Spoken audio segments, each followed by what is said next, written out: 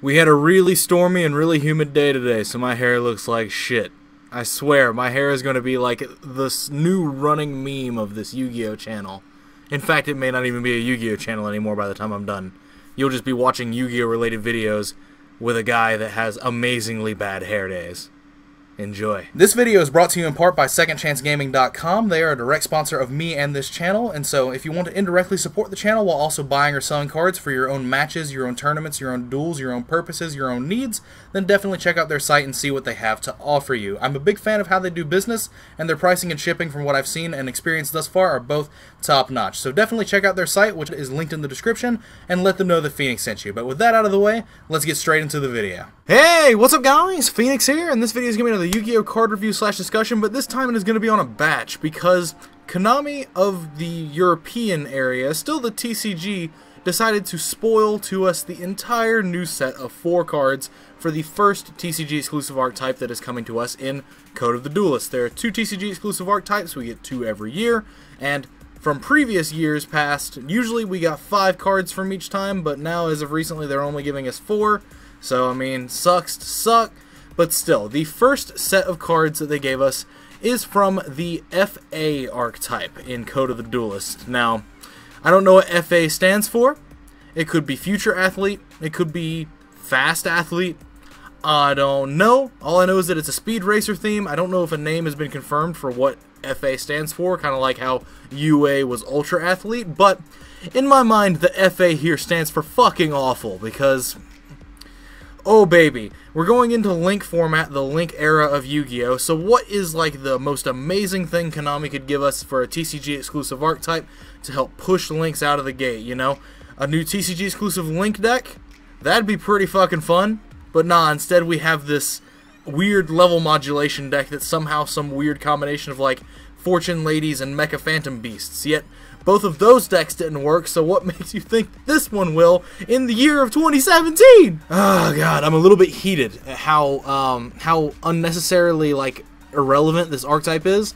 The artwork is pretty legit on these cards, but I digress. We're going to talk about all four of them as a batch because, I mean, shit, there's not really anything worth talking about them in a individual basis because the entire archetype, unless they get literally the most broken cards next set, for them are going to be probably not worth. It's just probably going to be another Subterrors. But anyway, the first monster of the new set is F.A. Sonic Meister. It is a level 4 wind machine type effect monster with 0 attack and 1000 defense and its effect is gains attack equal to its level times 300. Cannot be destroyed by battle with an opponent's monster whose original level slash rank is lower than this card's level. So they have a kind of Qliphort-esque effect of protection and sort of stuff like that. Each time an FA spell or trap card or effect is activated, you can increase this card's level by 1. If this card is level 7 or higher, it can make up to 2 attacks on monsters during each battle phase. So you summon it as a level 4, it can gain levels via its own effect, to make itself go up in attack value. It'll start at 1200 attack because it's a naturally a level 4, but its base attack is 0. And then if you activate any FA spells or traps, it will go up in a level, going up to level 5, 6, 7, etc. on its own. And then if the FA spells or traps give it any level boost by itself, with the uh, with the FA's um, with the FA spells and traps uh, assistance of putting its level up higher, it will gain more attack and it will then gain its extra effect if it is level 7 or higher. So these cards literally gain effects if they are level 7 or higher and at no other time.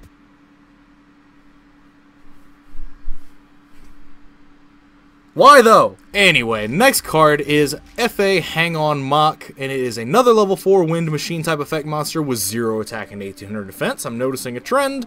Gains attack equal to its level times 300. Uh-huh, uh-huh, trendy, trendy. Unaffected by the activated effects from an opponent's monster whose original level or rank is lower than this card's level. Uh-huh. Uh-huh, uh-huh, uh-huh, trendy!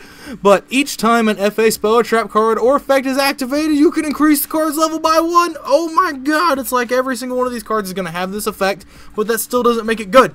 If you wanted to make a level modulation archetype good, you should have given Mecha Phantom Beasts more like support, because at least that has a good like slew of cards already accessible to it. But anyway, if this card's level is level 7 or higher, any card sent to your opponent's graveyard is banished instead. So that's interesting. The way they word this, any card sent to your opponent's graveyard is banished instead. So if you use this to kill, one, it puts your opponent under a Macrocosmos if it's a level 7 or higher. That's actually pretty alright, because it'll be big as shit. It'll be 2100 attack or higher when it gets up to level 7 or higher for this effect to be active. That puts it into Dark Law territory if it just goes up one more level. Uh, so, I mean, that's kind of decent because, you know, banishing cards as Macrocosmos is kind of legit, and then this thing can destroy things in battle and banish them as well. But so those two monsters were rather lackluster. The one that banishes is kind of alright, but at the same time, these cards are basically Fortune Ladies, and those cards don't historically really work that well in 2017. But anyway, we have a pair of spells that came out with this as well, and one is a field spell card called FA Circuit Grand Prix. It is a field spell card, as I've already said, and it says increase the levels of all FA monsters on the field by 2 during the battle phase only. Once per turn, when your FA monster destroys an opponent's monster by battle, you can draw one card. If this face-up card on the field is destroyed by a card effect, you can add one FA card from your deck to your hand, except for FA Circuit Grand Prix. You can only activate this effect of FA Circuit Grand Prix once per turn. So the search effect is only a once per turn effect, which rightfully so. That seems pretty alright. But it's got a static continuous effect of increase the levels of all FA monsters on the field by 2 during the battle phase only. That's pretty cool. That makes it easier for you to get your FA monsters to the level 7 or higher they require to be at to get their good effects. And also, this happens to be an FA spell, meaning if you normal summon either Hang On Mach or, uh, or Speedmeister, whatever the hell its original name is, Sonic Meister, if you summon either one of those cards, then activate this card in your field spell zone, that is one FA spell or trap being activated. They will both boost themselves up to level 5, and then this card during the battle phase will make them level 7. So, that means that it's already got a certain bit of cohesion in terms of it can utilize itself well enough to make these cards get their effects quickly and easily. Now, it gives you some sort of extra benefit. It turns all of your monsters into Air Knight Parshaths, giving them extra, you know, sort of effects to allow you to draw cards. Every single one of your monsters that kills one of your opponent's monsters will allow you to draw a card, but you only get to draw once per turn, which is kind of irritating. I kind of wish that advantage would have like snowballed because this is right now just a normal summon deck there's nothing else that we have that allows you to bypass your normal summon, so you are normal summoning one monster per turn.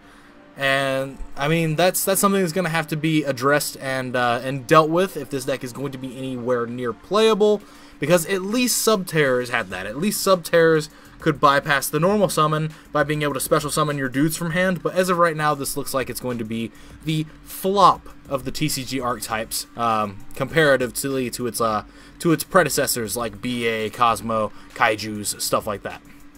And even Spyrals now. Spyrals are actually pretty good with that Link monster now. So they they have risen up in the ranks to a good TCG archetype as well. So now it's literally just Noble Knights, Sub Terrors, and this that are probably just the bad ones.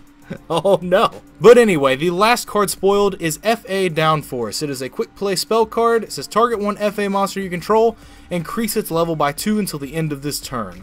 During your main phase, except the turn this card is sent to the graveyard, you can banish this card from your graveyard, then target one FA monster you control, increase its level by 2 until the end of this turn. You can only use each effect of FA Downforce once per turn. Now this is a very interesting card as well, but I still don't think it makes this theme good because it's just a weird attack and level modulation theme that came out of literally nowhere. It's literally just a new upgraded version of like Fortune Ladies and Mecha Phantom Beasts, but neither of those themes were decently good enough to compete in this metagame either, so why would another attack and level modulation theme be good either? But FA Downforce is a very interesting card, as well as the field spell, because of how the monsters are worded. The monster's level gaining effect is worded as each time an FA spell or trap card or effect is activated, you can increase this card's level by one. It's you can increase the level by one. So it will give you an option to increase the level by one, and it also triggers every time an FA card is activated or when an effect is activated. And that's where the field spell allowing you to draw cards is pretty cool because that is an effect that will trigger. and that is an effect that will activate, and that is an effect that should allow you to gain levels on your monsters. The same thing with Downforce. Downforce is another card like the field spell that straight out of the gate lets you get your monsters to level 7 very quickly because you can normal summon the uh, the Meister or the Hang On Mach, and then you can activate Downforce. That is a card that was activated so they can boost their level by one naturally, and then Downforce will allow it to gain the additional two levels via its own effect applying to the monster, and then you have a monster that has a decent enough situation going for it. This is also something you can use in the battle phase alongside the field spell to get your monsters up even higher in level stats. Unfortunately, the level gain only lasts until the end of the turn, kind of would have liked it to have been permanent, but regardless, the fact that this card has a graveyard effect that can be activated as well is fantastic in terms of design, because the card monster's effects, the monster card's effects, are worded when an FA, spell, or trap card or effect is activated. So with cards like Downforce, if it uses its effect from the graveyard, that is an effect activating of an FA, spell, or trap card, meaning the monsters will already naturally try to boost themselves by one level, and then downforce will apply to the monster, giving it the additional two levels from its graveyard effect. So downforce literally does the exact same thing in the graveyard as it does on the field, and that's a really cool little application that they gave this card. But as of right now, the theme name FA still literally stands for fucking awful because as I've said multiple times during this video, this is an basic bitch attack and level modulation archetype being introduced to us on the cusp of Link format when they could have given us a Link deck exclusive archetype to really push us into the forefront of the new mechanic, but instead we're getting this updated Fortune Lady archetype based on Speed Racer. What? Why? Why are we getting this? We're getting this and I would kind of be okay with it if the other TCG exclusive archetype was going to be something like a link-based archetype as well. But no, it's a ritual archetype. It's a zombie ritual archetype from the looks of it with the few cards that we've seen and know of that are going to be coming out. So we have no TCG exclusive link deck, which would have been an amazing, amazing way for Konami to push the new mechanic to us in the TCG, especially since if you look in the OCG, there has not been a tier 1 link deck yet. Whereas we could have had something like that to really let us just absolutely develop in our minds and like just allow us to develop the game the way that like we could as TCG players like we did when Burning Abyss was our own deck and when Cosmo was our own deck. We could have taken charge of this with our own Link deck. It could have been great. Could have been broken. But nah. Mm-mm. We have this deck the FA deck. I, I, again, I don't know what FA stands for. It could be future athlete. It could be fast athlete. All these cards look very futuristic. That's the only reason why I say future. Um, but like, fucking awful is the only thing that comes to my mind. Because these four cards don't really take the cake in any way, shape, or form. They all are very well designed and designed to work very, like very well together. I give them that. There's if there's anything that this archetype has it's good design going into it because all of the spells and traps that we have, the two that we have, both have effects that get your monsters to the appropriate level 7 or higher very quickly. That's good. The two monsters, they both, well, not both. The macro one is pretty good. Hang on Mach is, that's pretty alright, because macrocosmos-like effects are always very well appreciated at differing points of the metagame, because they're usually pretty relevant. But the attacking twice, uh -huh, I don't know. As of right now, the biggest issue I have is that the deck cannot bypass its normal summon with the cards that we have access to, meaning it's just a shitty normal summon deck that just tries to normal summon really, really basic level 4 beaters that become level 7 beaters, only get good effects once they hit level 7, and then they have to be like attacking for that to be applicable because of the field spell to give it another good effect just to allow you to draw one card. Uh, it just seems like there's such a huge amount that you're trying to do for not a lot of reward. So I'm definitely curious to see what the rest of the support this could get in the next two or three sets could be. We're going to be getting three more support waves for this archetype The only question is, are they going to give it some cards that make it decent sooner rather than later, or not at all? I mean, I really hope we're not waiting until the last support wave before we get like the amazing cards that's like, oh, you could special summon another FA from hand and all this sort of nonsense. I really hope that they don't make us wait that long to get the really good cards. But I digress. I, I don't think this archetype is going to do anything straight out of the gate.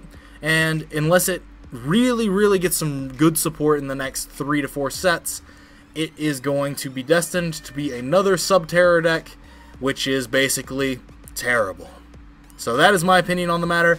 If you, I really like these cards' artwork. I like their design. I like their artwork, but just from a logistics standpoint, they're not up to snuff. So anyway, as always, guys, Thanks for watching. Let me know what your opinions are in the comments down below. As always, links, as always, are in the description of my Facebook and Patreon pages. If you really enjoy the content that I'm making and you want to help support the channel, then definitely go check out the Patreon and consider backing me over there. You can get some certain rewards back from that and all that sort of nonsense, and you would have my eternal gratitude if that is something that you wanted to go check out and maybe consider contributing to. It would help out a ton, help some future projects come into fruition a bit easier and a bit faster, and all that sort of jazz. So definitely go check that out if you are interested in supporting the channel and if you really like the stuff that I'm doing. It would help out a ton, like I've already said. But anyway, as I've already said, thanks for watching. Thanks for your time as usual, guys. And take care. I will see you in the next video. Let's hope that the other TCG exclusive archetype is a bit better than this one because if we don't have a good TCG exclusive archetype for this next year cycle of the game, I think that there's not really a lot of fun things to look forward to when we just get to see everything four months in advance from the OCG. Am I alone in that? I don't know. I think I'm not alone in that feeling. But anyway, take care, guys.